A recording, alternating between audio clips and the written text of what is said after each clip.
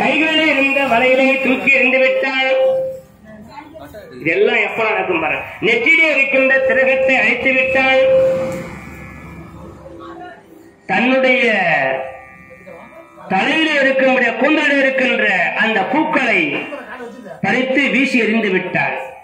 தலையிலே பூக்கள் இல்லை நெற்றியிலே திலகம் இல்லை கைகளிலே வளையல் இல்லை. அழகான அணிகலன்கள் எல்லாவற்றையும் வீசியறிந்து விட்டு அவள் படுத்த படுக்கையாக இருக்கிறார். தசரத மகாராஜன் பொழுது விழுந்தால் ராமபிரானுக்கு பட்டாபிஷேகம் என்னுடைய பிரியமான மனைவி கைகையை காணவில்லை என்று தேடிக்கொண்டு அரண்மனை நாடி வருகிறார் பெண்ணே. ஏன் இந்த அலங்கோலம் எல்லாரும் ராமருக்கு பட்டாபிஷேகம் என்று எல்லாரும் தெருவிலே போடுகிறார்கள் கோலம். நீ ஏன் இப்படி இருக்கின்றாய் அலங்கோலம் ஏன் இப்படி அலங்கோலமாக இருக்கின்றாய் பெண்ணே என்று எழுப்பி அவரிடம் கேட்கிற போது சுவாமி நான் சம்பராசுர யுத்தத்தின் பொழுது தாங்கள் இரண்டு வரங்கள் தருவதாக சொன்னீர்களே அந்த இரண்டு வரங்களை தருவதாக இருந்தால் உங்களோடு நான் பேசுகிறேன். அவ்வளவுதானே?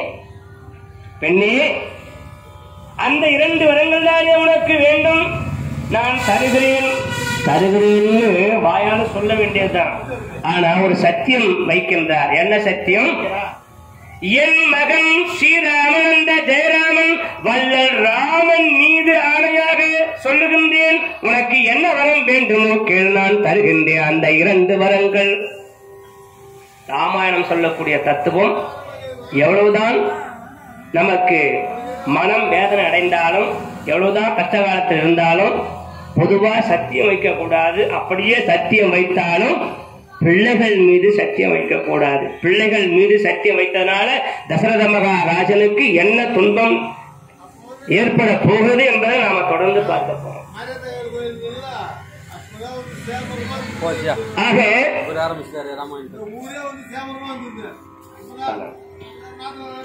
தசரத சக்கரவர்த்தி பெண்ணே என்ன வரம் வேண்டுமோ கேள் நான் தருகிறேன்.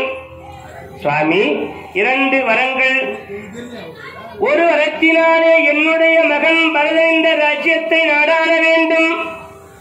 இன்னொரு வரத்தினாலே ராமபிரான் காடகத்திற்கு பதினான்கு ஆண்டு கால வனவாசம் செல்ல வேண்டும்.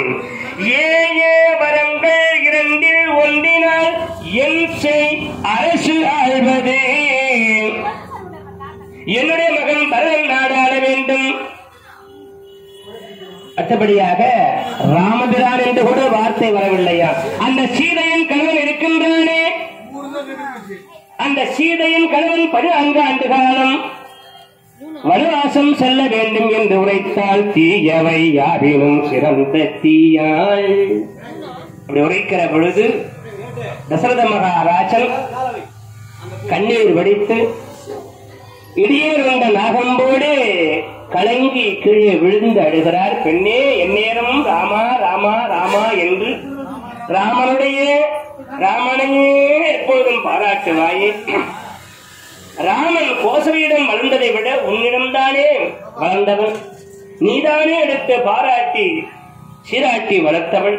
அப்படி இருக்கிற போது ராமனை கானகத்திற்கு அனுப்ப வேண்டாம் கைகேகி வேண்டுமானால் உன்னுடைய மகன் கூட இந்த ராஜ்யத்தை ஆளட்டும் கைகேயி என்னுடைய மகன் அந்த ஸ்ரீராமனை கானகத்திற்கு அனுப்பாதே கைகேயி என்று கையெடுத்து கும்பிட்டார். கையெடுத்து கும்பிட்டதோடு மட்டுமன்றி காலிலே விழுந்து கண்ணீர் வடித்து அழுகிறார் காலிலே விழுந்து கண்ணீர் வடித்து அழுகிறார். கண்ணீர்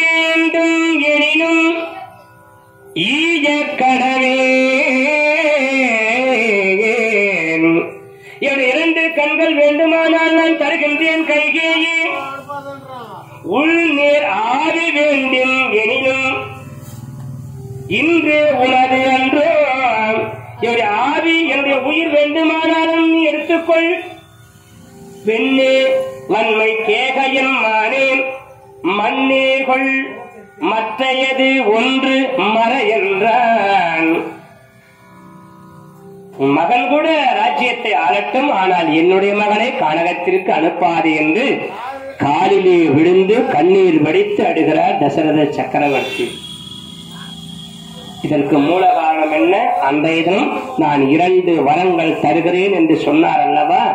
ஆராய்ந்து பார்க்காமல் ஒருவருக்கு வாக்கு தந்து விட்டோமையானால் இப்பேற்பட்ட சங்கடத்திலே நாம் ஆட்பட வேண்டும். இதைத்தான் ராமாயணம் நமக்கு வலியுறுத்துகிறது. கோவிந்த நாம சங்கீர்த்தனம் கோவிந்த கோவிந்தம் இவ்வாறாக வாய் தந்தேன் என்றேன் இனி யானோ அது மாற்றி நோய் தந்து என்னை நோகன் செய்து நுவலாதே தாய் தந்தென்ன தன்னை இறந்தால் கல்வெங்கன் பேய் தந்தையும் நீது தந்தால் பிழையாமோ ஒரு- ஒரு பேயிடம் சென்று கேட்டால் கூட இந்த இரண்டு வரங்களை தந்துவிடும் கைகேயி. என்னுடைய மகனை மட்டும் நீ கானகத்திற்கு அனுப்பாதே என்று அவர் கண்ணீர் வடிக்கிறார். அப்படி கண்ணீர் உடைக்கிற போது சுவாமி நீங்கள் எப்பேற்பட்ட பரம்பரையில் பிறந்தவர்கள் தெரியுமா?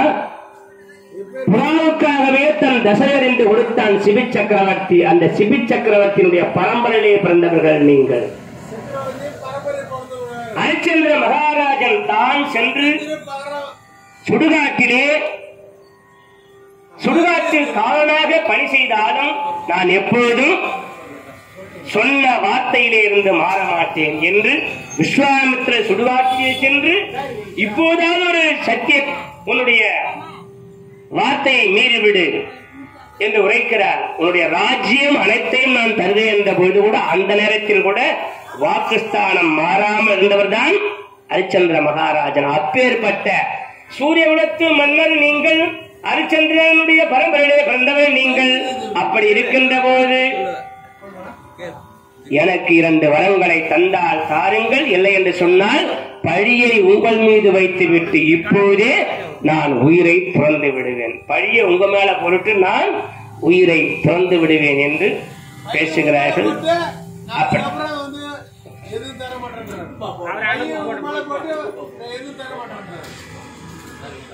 இப்படி இரண்டு வரங்களை கேட்கின்ற பொழுது மகாராஜாவும் காலில் விழுந்து கெஞ்சி கேட்டாலும் அவருடைய மனம் மாறவில்லை. அப்படி கேட்கின்ற பொழுது அந்த வேளையிலே தசரத சக்கரவர்த்தி பெண்ணே இத்தனை முறை கேட்டும் ஒரு மன்னன் நான். பழிந்து கேட்டாலும் எனக்கு தராமல் இருந்த காலத்தினாலே பெண்ணே ஈந்தேன் ஈந்தேன் இவ்வரம். இந்த இரண்டு வரங்களையும் நான் உனக்கு தந்துவிட்டேன். இந்த உலகத்திலே இந்த ராஜ்யத்தை உன்னுடைய மகன் பரதன் நாடாளுகிற பொழுது அவருக்கு கையில கங்கணம் கட்டணம் அல்லவா? அந்த கங்கணத்திற்கு வேறெங்கும் செல்ல வேண்டாம். உன்னுடைய மாங்கல்யத்தையே நீ கங்கணமாக கட்டுவாய். என் மகன் வானகம் செல்லட்டும் உன் மகன் நாட்டை ஆளட்டும் நான் வானகம் செல்லுகிறேன் என்று கண்ணீரோடு அழுகின்றாராம் பெரியவுடைய தசரத சக்கரவர்த்தியானவர். அப்படி தசரத சக்கரவர்த்தி மயக்கமாக கீழே விழுந்து விட்டார் சந்தோஷம்.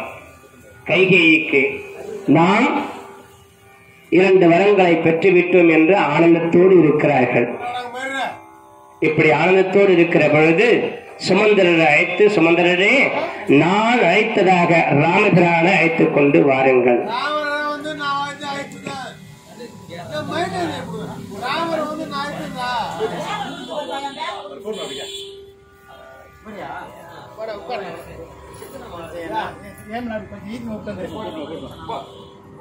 நான் வந்து அழைத்துட்டேன் என்